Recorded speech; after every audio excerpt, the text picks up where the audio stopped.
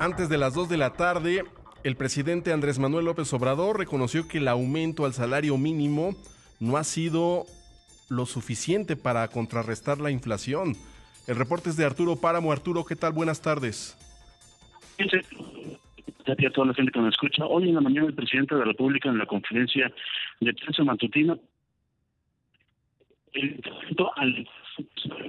el incremento que se ha tenido en los últimos años al salario mínimo del presidente. Pues está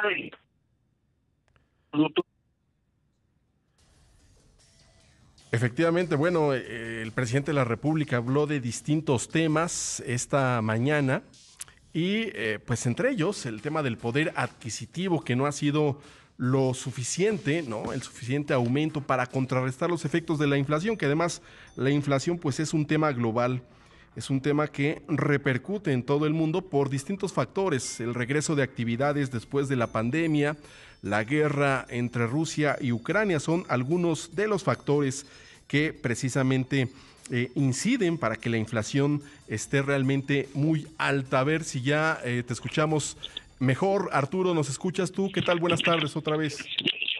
Sí, Héctor, ¿qué tal? ¿Cómo estás? Eh, te comentaba que hoy en la mañana el presidente Andrés Manuel López Obrador reconoció que pues los aumentos que ha habido al salario mínimo eh, a lo largo de su administración pues han, se han sido rebasados por la eh, crisis y por la inflación que se ha desatado desde la pandemia de COVID-19 y posteriormente por la guerra que se está desarrollando entre Rusia y Ucrania.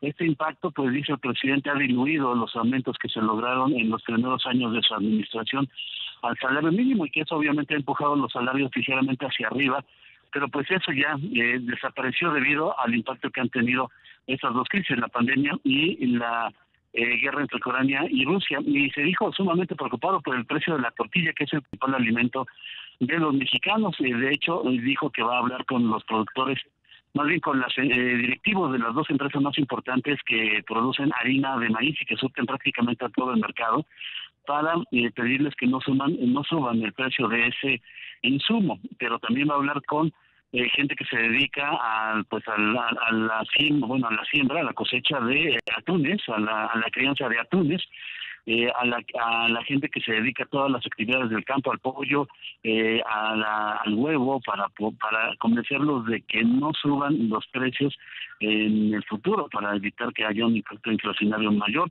Y también pues garantizó que van a seguir los subsidios a las gasolinas para evitar que también haya incrementos en los precios a todos los mexicanos. Y pues eh, el presidente dijo que si algo le quita el sueño precisamente es el precio de la tortilla y los alimentos en general, Héctor. Sí, sin duda es un tema complicado, es un tema global y sin duda que pues este subsidio que se da a las gasolinas eh, por parte de las autoridades hacendarias del gobierno federal ayuda a que la inflación no esté en niveles más altos, sino estaríamos contando otra historia realmente eh, más difícil de la que se está viviendo. Te agradecemos el reporte, Arturo.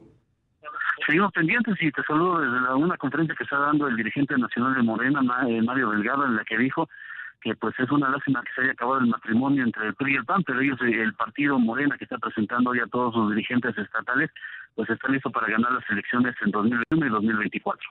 Así es, parece que el PRI va a cambiar de chambelán, ahora va a ser Morena. Te agradecemos el reporte, Arturo.